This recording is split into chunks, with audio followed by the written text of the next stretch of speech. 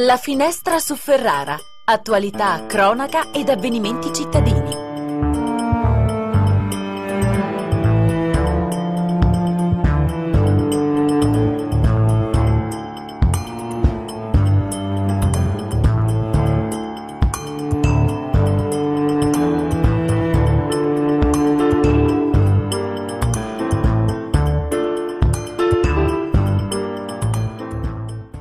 Bentrovati all'ascolto della finestra su Ferrara. Anche oggi la nostra finestra si apre sulla nostra città e si apre sullo sport della nostra città ed in particolare su un talento dello sport della nostra città, perché oggi è con noi Luigi Pasetti, classe 1945, grande calciatore, grande difensore della SPAL e poi dalla SPAL è passato alla Juventus e ha fatto una lunga carriera che lo ha portato ovviamente ai massimi livelli del nostro calcio di quegli anni.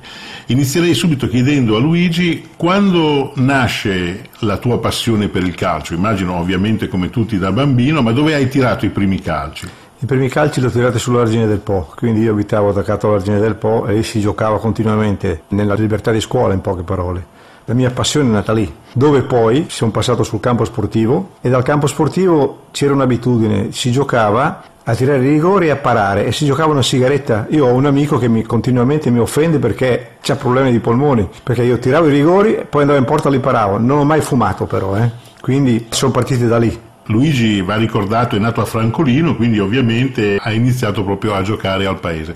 Quando inizia a entrare in una società sportiva? Cioè quando hai vestito la prima maglia, diciamo? Beh, diciamo a 14 anni, la Libertas di Ferrara quindi la Bersi di Benfenati, ho fatto un anno lì negli allievi, Massa mi ha visto, mi ha chiamato a provare e mi ha portato alla spalla, in, siamo andati in tre, io e due ferraresi, di cognome ferraresi, Claudio e Gianni Ferraresi, e siamo stati venduti per 75 mila lire in tre. E lì, di lì è partita diciamo, la mia carriera dalla spalla.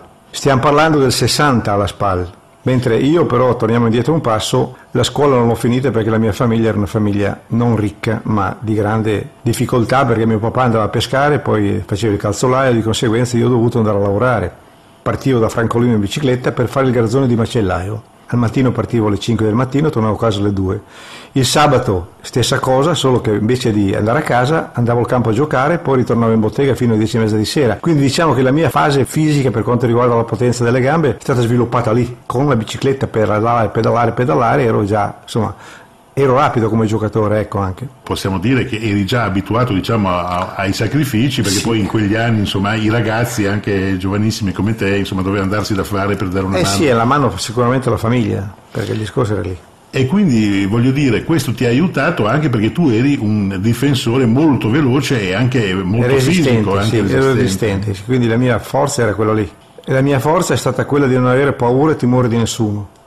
Quindi, tornando al discorso di prima, Massa mi ha preso, con il mio datore di lavoro per un anno mi dava il permesso due volte alla settimana al mattino per andare ad allenarmi, poi tornavo in bottega e continuavo a lavorare fino alle due. L'anno successivo Massa mi ha chiamato, mi fa, cosa ciappata a lavorare? 5.000 euro alla settimana, a Tindag 10.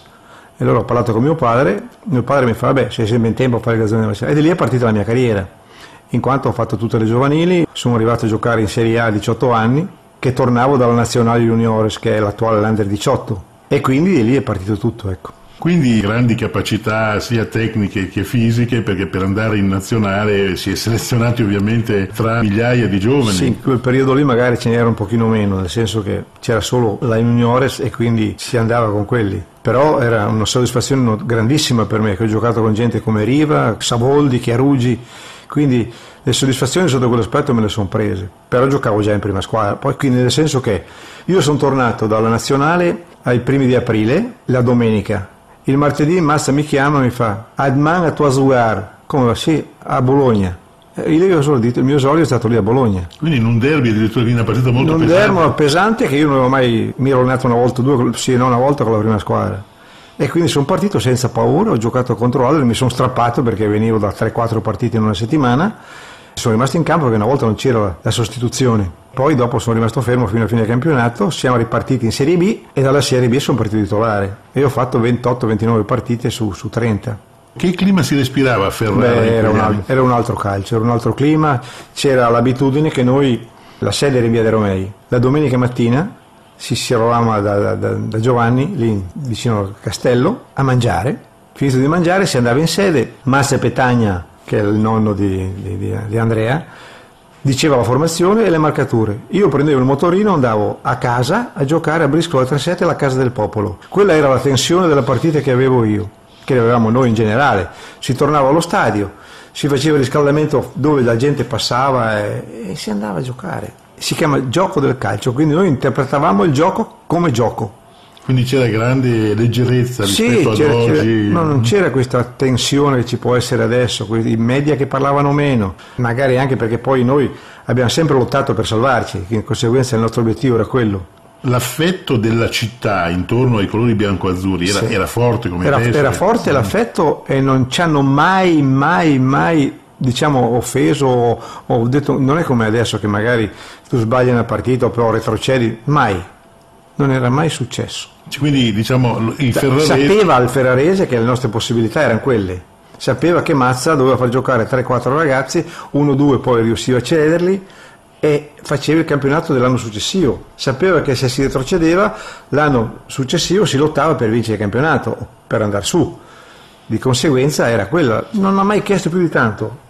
Diciamo che la Spal era una squadra che in Serie A appunto faceva un campionato per salvarsi, mentre in Serie B ovviamente giocava, se la poteva giocare se a tutti poteva giocare effetti. tutti. Infatti, per... però, eh, come dicevo prima, Massa tutti gli anni obbligava, fra virgolette, l'allenatore a far giocare due o tre ragazzi, perché l'obiettivo primario era quello. Prima di retrocedere l'anno precedente ha dato via Cappello e Bosdaves, uno al Napoli e uno alla Roma. L'anno successivo siamo andati via in altri due, io e Stanzial c'era sempre questa, abitudine, questa, questa, richiesta perché non poteva fare altro. Non era come quelli da adesso che possono tirare fuori 3, 4, 5, 6, 10 milioni di euro. Oltretutto lui metteva anche in tasca perché è chiaro.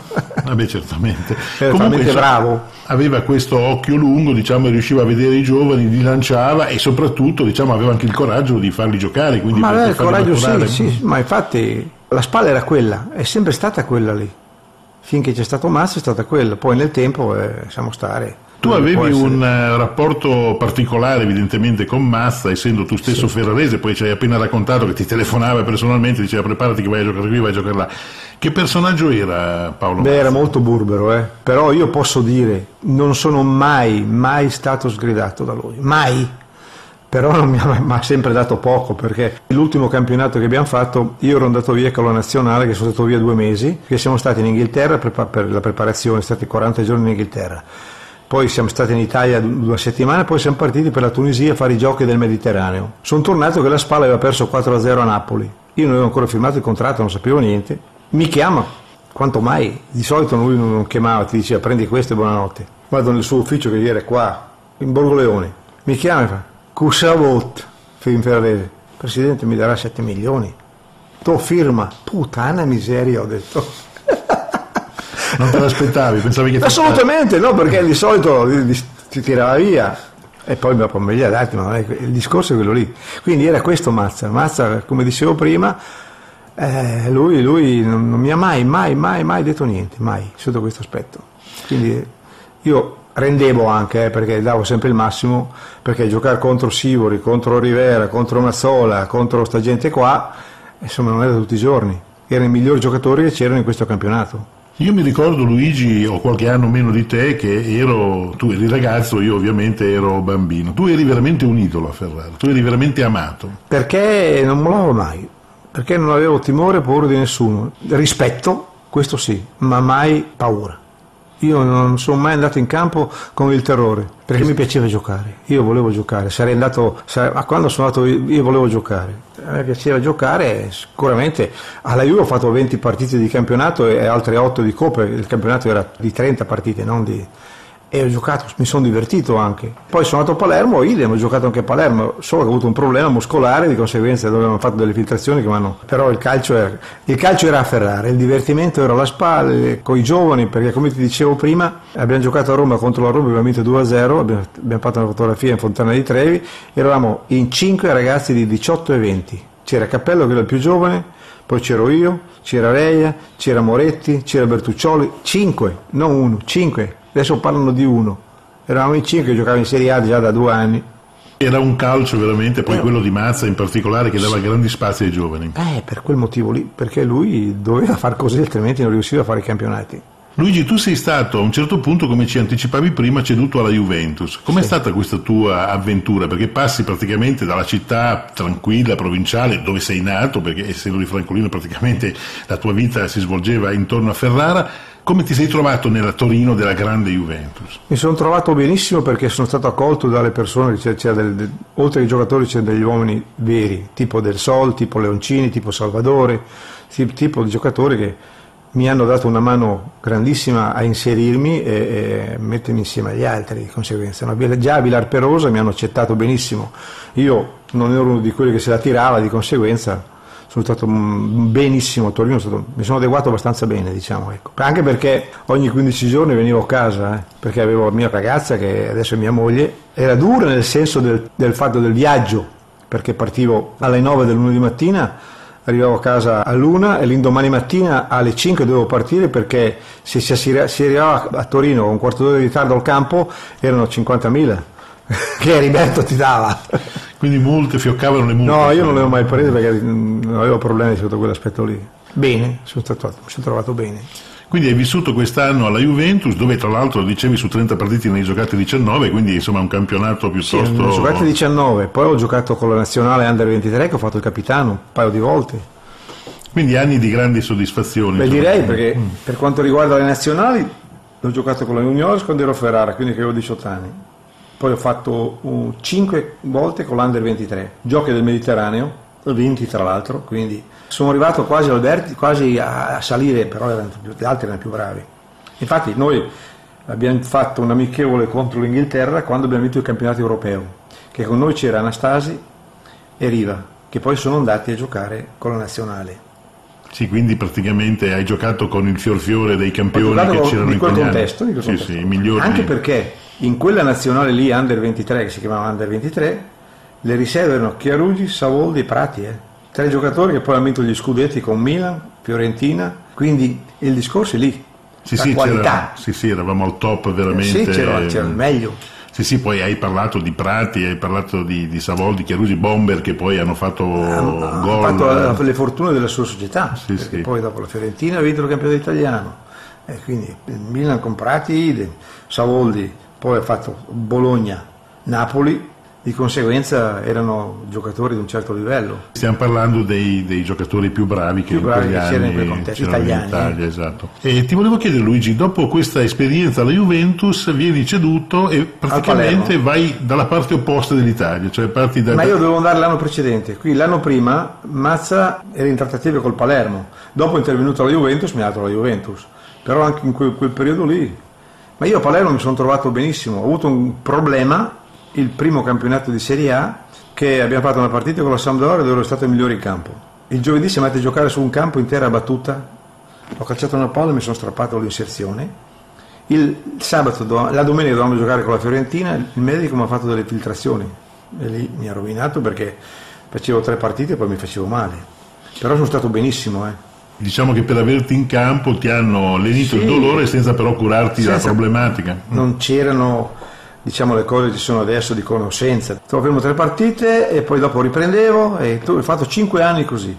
L'ultimo anno eh, mi ha chiamato il Piacenza che c'era GB Fabri, io volevo, mi ero fatto la casa, mi era nato un bambino, quindi di conseguenza volevo avvicinarmi, ma no, loro volevano tenermi lì e sono venuto via e poi di lì ho fatto ancora un paio d'anni, poi, anche perché una volta a 30 anni eri vecchio, io a 30 anni avevo già fatto 10 campionati di Serie A. Come hai vissuto Palermo? Cioè la società, ma anche la città, che è una città molto calda e molto... Ma io la abitavo, abitavo a Mondello, quindi abitavo in un posto bellissimo, quindi andavo in spiaggia, mi facevo la mia passeggiata. No, poi ero- io ero visto abbastanza bene dalla gente, diciamo, dalla gente di Palermo. Eri uno comunque che dava tutto in campo e la gente Sì, appunto, apprezza questo.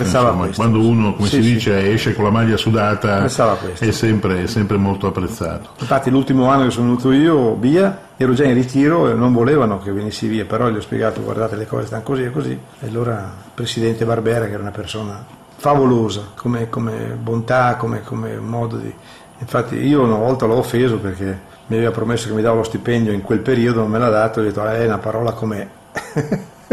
però dopo mi, mi- mi è dispiaciuto. Torni a Piacenza perché ti vuole GB Fabri che già Sì. si conosceva. Sì, GB Fabri stava facendo una squadra per vincere il campionato, cosa che abbiamo stravinto perché a quattro partite alla fine eravamo matematicamente promossi.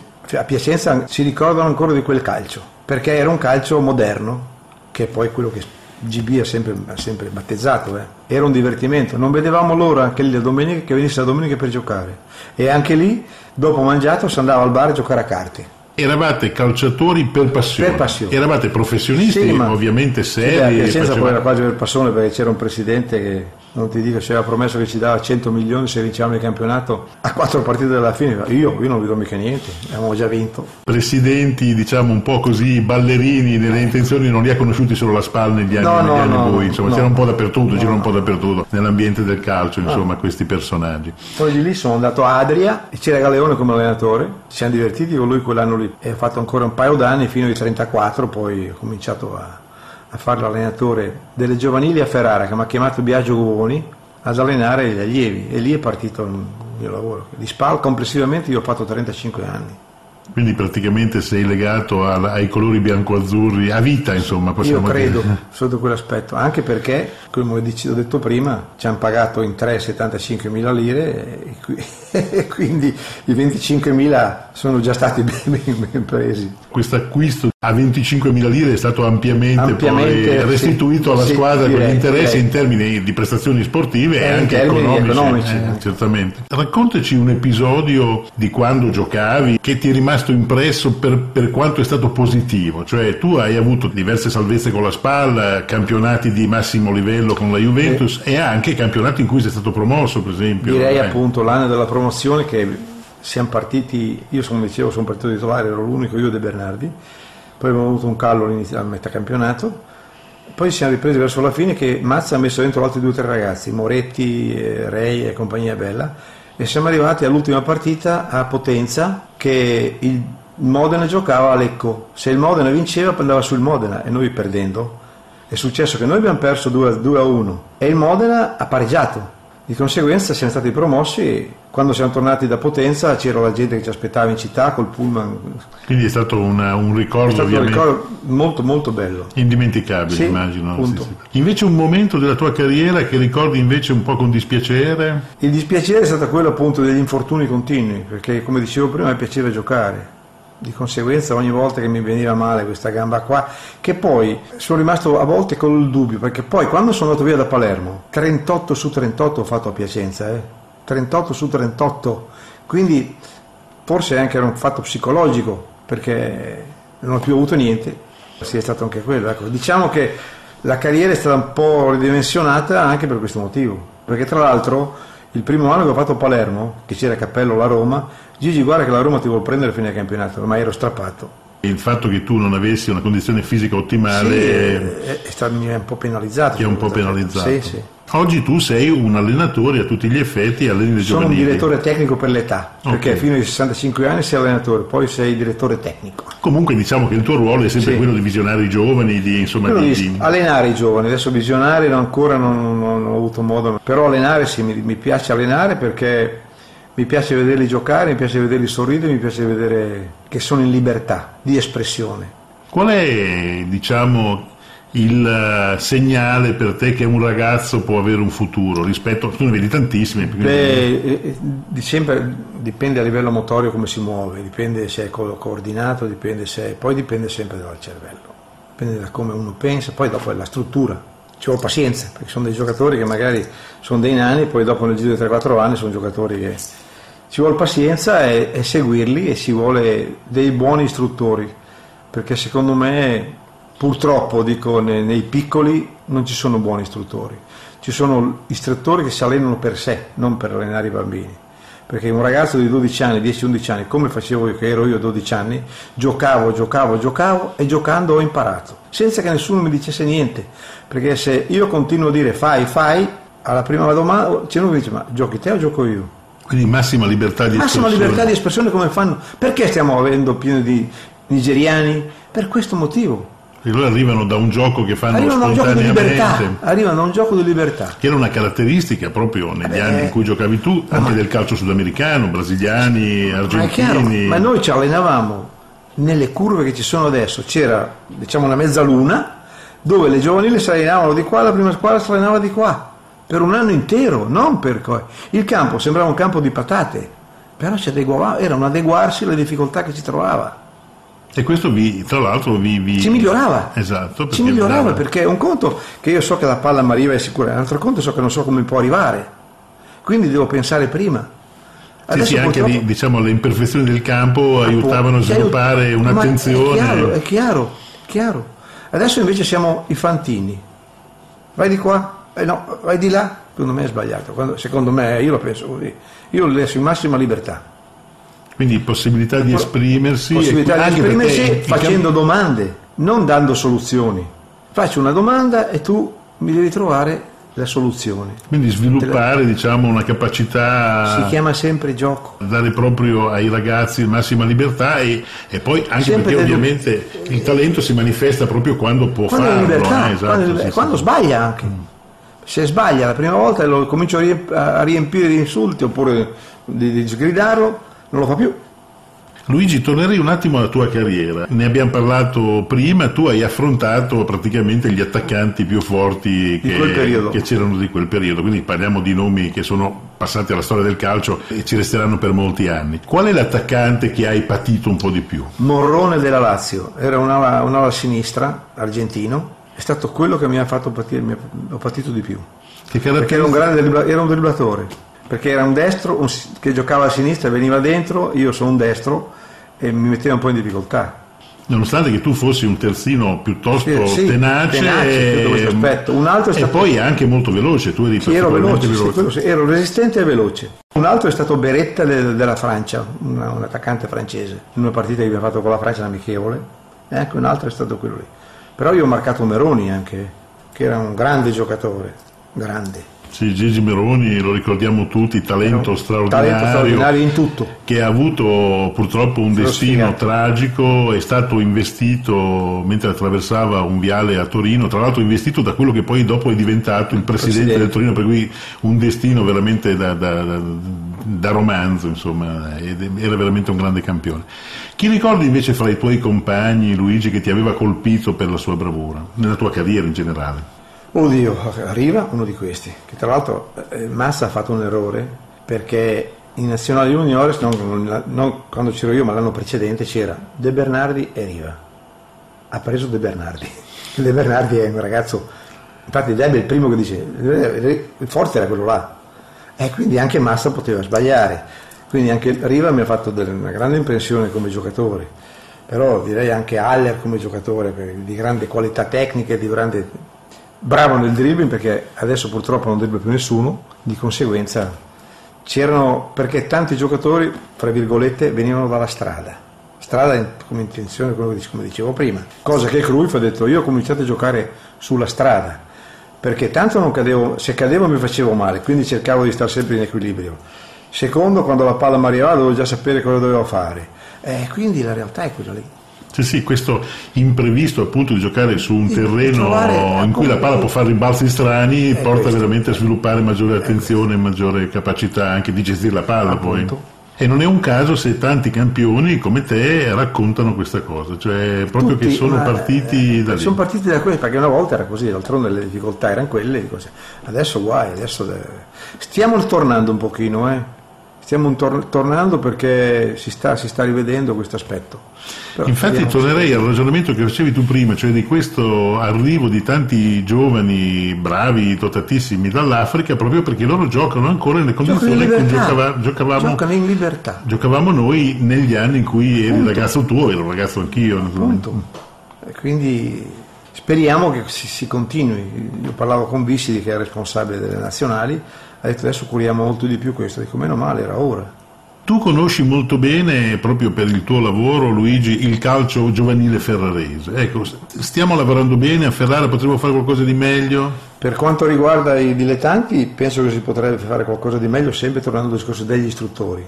La SPAL stanno facendo bene, ma stanno facendo bene con tanti ragazzi di fuori di Ferrara, quindi vuol dire che non hanno fiducia o cosa, anche se qualche ferrarese in giro c'è, perché ce ne sono, perché c'è un ragazzo all'Inter, due al Sassuolo, un 2001-2002, e un altro, un altro ragazzo all'Inter, quindi ci sono ragazzi alla Lazio, ce ne sono, però si vede che preferiscono prendere da un'altra parte, ma no, però succede.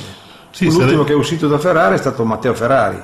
Sì, sarebbe bello vedere ovviamente come ai tempi quando più. c'eri tu, che, a vedere qualcuno nato a Ferrara, nato nel nostro territorio, che indossa la maglia bianco-azzurra. Devo dire la verità che a livello dilettantistico abbiamo poco, perché io quest'anno ho fatto un campionato con la Copparese a livello dilettantistico non c'è niente, abbiamo poco. Ecco, cos'è cambiato secondo te nell'insegnare il calcio? Ce l'hai già detto ovviamente dicendo che non si lascia più tanto spazio ai giovani sì, per sì. dimostrare il loro talento la scuola di calcio comunque, io secondo la, te... Io lo, lo proibirei la scuola calcio. Primo perché torniamo al discorso di prima, perché c'è sempre qualcuno che dice fai. Io preferirei che i bambini giocassero in libertà, in, su campi sconnessi dove c'è, e lì si vede anche il talento, perché io mi ricordo che sono stato a calcio in, a calcio in Argentina, fino a 5-6 anni fa andavo.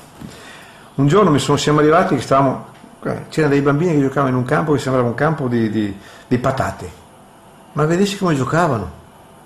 Bambini di 10-12 anni, ma come giocavano? Perché avevano le capacità, avevano le qualità, poi dopo lì, anche perché sono bravi nel dribbling e se il dribbling, quando hai dribblato uno, sei già in superiorità, quindi sei già più avvantaggiato, no? Di conseguenza. Invece noi non dribblare, vabbè allora possiamo stare. Qual è Luigi la, la, differenza fondamentale, cioè quello che salta più agli occhi a te che ovviamente di calcio te ne intendi assolutamente, tra il calcio degli anni tuoi, appunto di Rivera, dei Mazzola e il calcio attuale? Quello che dicevo prima, che c'era più qualità tecniche. Quindi Rivera e Mazzola che facevano le cose in velocità, cose, Rivera addirittura pensava anche un attimino prima. Adesso secondo me siamo, siamo degli robottini. Adesso in questo momento va di moda la grande fisicità però dopo abbiamo tre nazionali di 1,60 e abbiamo un nazionale che, leggevo stamattina, ha pagato 50 milioni di euro che è Barella. Quindi qualcosa non quadra. Solo che nessuno lo dice a livello giovanile, perché fa comodo il risultato. È chiaro che a livello giovanile, se tu hai 15-16 anni, sei 1,80, sei veloce, sei, eh, ti metti già in evidenza. E dopo? Tornando alla tua carriera, perché ovviamente si parla di calcio, di tecnica del calcio e quindi di allenatori. Qual è l'allenatore nella tua carriera con cui ti sei trovato meglio? GB. GB Fabri. Sì. GB perché interpretava il calcio come, come lo penso io. Primo perché lui era un grande appassionato di calcio, grande, gli piaceva giocare, gli piaceva lui, era un divertimento vederlo giocare a calcio tennis, perché si, si gasava dopo una rovesciata, dopo una la, il sabato mattina a Piacenza, allo stadio, la Galeana, c'è un posto fuori dal campo fatto a triangolo, no? Si metteva una porticina qua e una porticina di qua e si giocava dalle 10 alle 11 e mezza il sabato mattina e lui per primo, ogni volta che faceva gol sembrava un bambino e quindi trasmetteva questa passione anche a noi. Quindi un calcio di allora fatto di molta più passione e meno scienza meno, calcistica. Meno scienza calcistica, più libertà, anche perché io ho giocato, non ho ancora detto, quando sono stato a Londra abbiamo fatto 5 amichevoli con squadre di un certo livello. Abbiamo giocato contro il Manchester United, che nel Manchester United c'era un giocatore che si chiama Best e il sottoscritto l'ha marcato. Dall'altro era Bobby Charlton, il difensore centrale, e la mezzala era Love, che giocava anche nel giocato nel Torino. Quelli erano giocatori. Stiamo parlando dei giocatori a livello mondiale. A livello mondiale, di conseguenza, eh, però mi, mi, sono adeguato, mi sono, eh, Best era Best in certo momento, però non avevo paura, rispetto ma non paura Magari ma Massimo faceva gol, qual è il problema?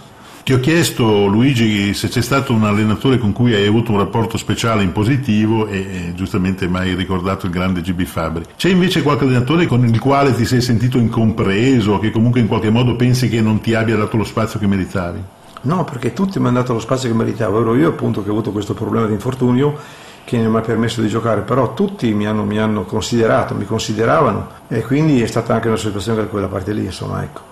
Bene, io direi che possiamo chiudere qua il nostro programma di oggi. Ringrazio Luigi Pasetti, detto Gigi, una colonna della SPAL, tutti i ferraresi lo ricordano come un grande campione, un difensore veramente arcigno che soprattutto aveva il grandissimo pregio che dava il 100% ogni volta che saliva in campo. La sua carriera è stata una carriera veramente di altissimo livello, diverse volte nazionale, abbiamo sentito i giocatori che ha avuto modo di contrastare durante la sua carriera, stiamo parlando di giocatori a livello mondiale di quel quel periodo, una carriera che purtroppo, come ci diceva, a causa di alcuni infortuni che ha subito quando era al Palermo, gli hanno impedito di andare magari alla Roma o comunque di avere ulteriori sbocchi anche a livello europeo, ma sicuramente un ferrarese di grande talento, un ferrarese di altissima qualità. È stato un piacere per noi poterlo ascoltare. Anche da parte mia. Grazie Luigi, vi ringrazio anche a voi per averci seguito fino qui e a risentirci alla prossima puntata della Finestra su Ferrara.